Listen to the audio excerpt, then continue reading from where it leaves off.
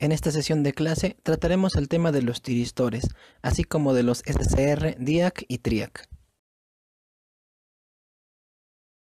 Iniciamos con la interrogante, ¿qué es un tiristor? Los dispositivos semiconductores utilizados en electrónica de potencia se pueden clasificar en tres grandes grupos, de acuerdo con su grado de controlabilidad. Dispositivos no controlados como los diodos, dispositivos semicontrolados como los tiristores y dispositivos totalmente controlados como transistores. El tiristor es un semiconductor de potencia que se utiliza como interruptor, ya sea para conducir o interrumpir la corriente eléctrica. Su funcionamiento se asemeja al de un relevador o un interruptor mecánico, ya que cuando se aplica una corriente a la terminal gate, éste se activa y obtiene la característica de dejar pasar a la electricidad. En esta sesión abordaremos todo lo concerniente a las características y propiedades de los tiristores. Iniciemos.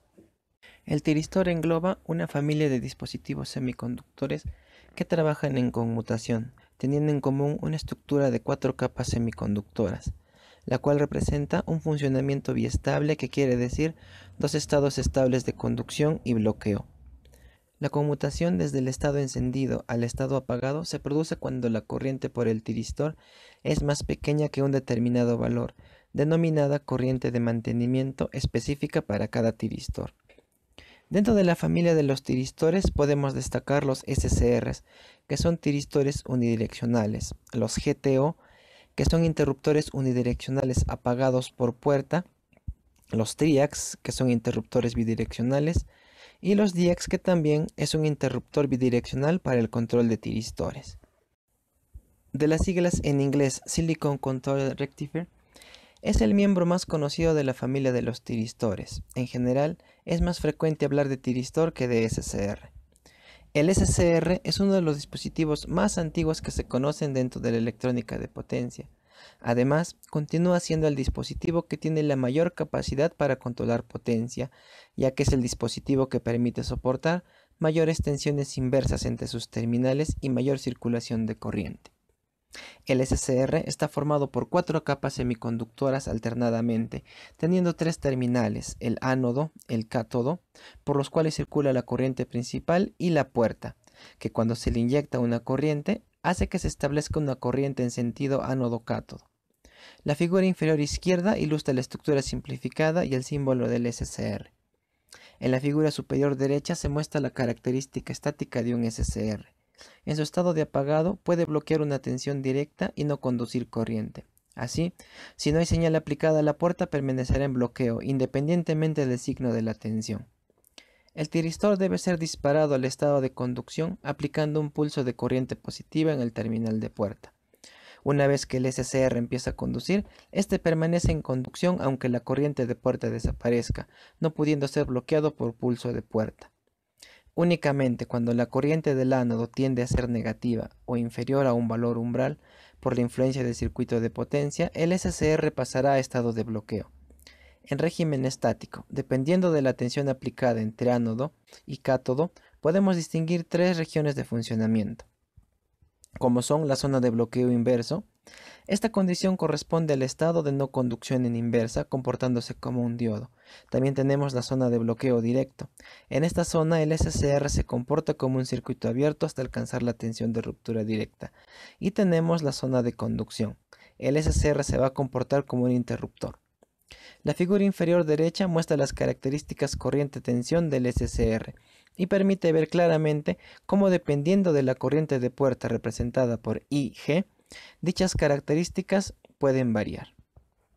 El SCR es un dispositivo de estado sólido que en su modo de operación emula un relé y se comporta como un circuito abierto hasta que activa su compuerta denominada gate con un pulso de tensión que causa una pequeña corriente cerrando el interruptor. El tiristor conduce y se mantiene conduciendo no necesitando de ninguna señal adicional para mantener la conducción. En estado de conducción, el SCR tiene una impedancia muy baja que permite circular grandes niveles de corriente. En estado de corte, la corriente es prácticamente nula y se comporta como un circuito abierto. Para la activación y bloqueo de los SCR podemos considerar cinco maneras distintas de hacer que el SCR entre en conducción. La primera de ellas es el disparo por tensión excesiva. Cuando está polarizado directamente en estado de bloqueo, el aumento de la tensión de ánodo a cátodo lleva a una expansión de la región de transición tanto para el interior de la capa de la puerta como para la capa N adyacente. Para valores elevados de tensión es posible iniciar un proceso de avalancha, en el cual las cargas aceleradas al chocar con átomos vecinos provoquen la expulsión de nuevos portadores que reducen el proceso. Otro tipo es el disparo por impulso de puerta. El disparo a través de la corriente de puerta es la manera más usual de disparar el SCR, para lo cual es importante el conocimiento de los límites máximos y mínimos para la tensión y la corriente de compuerta. El disparo por derivada de tensión nos dice que si a un SCR se le aplica un escalón de tensión positivo entre ánodo y cátodo con tiempo de subida muy corto, los portadores sufren un desplazamiento para hacer frente a la tensión exterior aplicada. El valor de la derivada de tensión depende de la tensión final y de la temperatura, tanto menor cuanto mayores son estas. Otro tipo de disparo es el disparo por temperatura. A altas temperaturas, la corriente de fuga en una anión PN inversamente polarizada se duplica. Así, el aumento de temperatura puede llevar a una corriente suficiente para llevar el SCR al estado de conducción. Otro tipo de disparo es el disparo por luz. La acción combinada de la tensión ánodo-cátodo, así como de temperatura y radiación electromagnética de longitud de onda, puede provocar también la elevación de la corriente de fugas del dispositivo por encima del valor crítico y obligar al disparo. Los tiristores diseñados para ser disparados por luz o tiristores fotosensibles suelen ser de pequeña potencia y permiten un aislamiento óptico entre el circuito de control y el circuito de potencia. El DIAC, conocido también como diodo para corriente alterna, es un dispositivo semiconductor doble de dos conexiones. Es un diodo bidireccional autodisparable que conduce la corriente solo tras haberse superado su tensión de disparo. El comportamiento es variable para ambas direcciones de la corriente. La mayoría de los DIAC tienen una tensión de disparo doble variable alrededor de los 30 voltios. En este sentido, su comportamiento es similar a una lámpara de neón. Los DIAC son una denominación de tiristor y se usan normalmente para autocompletar el ritmo variado del disparo de un TRIAC u otra clase de tiristor. Además, es un dispositivo semiconductor de dos terminales. Actúa como una llave semicircular interruptora bidireccional, la cual se activa cuando el voltaje entre sus terminales variables alcanza el voltaje de accionado. El DIAC normalmente no conduce, sino que tiene una pequeña corriente de fuga. La conducción aparece cuando la tensión de disparo se alcanza. Cuando esta tensión de disparo es alcanzada, la tensión del DIAC se reduce y entra en conducción, dejando pasar la corriente necesaria para el disparo del SCR o TRIAC. Se utiliza principalmente en aplicaciones de control de potencia mediante el control de fase. La curva característica del DIAC se muestra en la figura de la derecha. En la curva característica se observa que cuando la tensión positiva o negativa es menor que la tensión de disparo, el DIAC se comporta como un circuito abierto. También se observa que si la tensión positiva o negativa es mayor que la tensión de disparo, el DIAC se comporta como un cortocircuito. El TRIAC es un tiristor bidireccional de tres terminales. Permite el paso de corriente del terminal 1 al 2 y viceversa, y puede ser disparado con tensiones de puerta de ambos signos. Cuando se trabaja con corriente alterna, es interesante poder controlar los dos sentidos de circulación de la corriente. Evidentemente con un SCR solo podemos controlar el paso de corriente en un sentido. Por tanto, uno de los motivos para el cual los fabricantes de semiconductores han diseñado el TRIAC ha sido para evitar este inconveniente.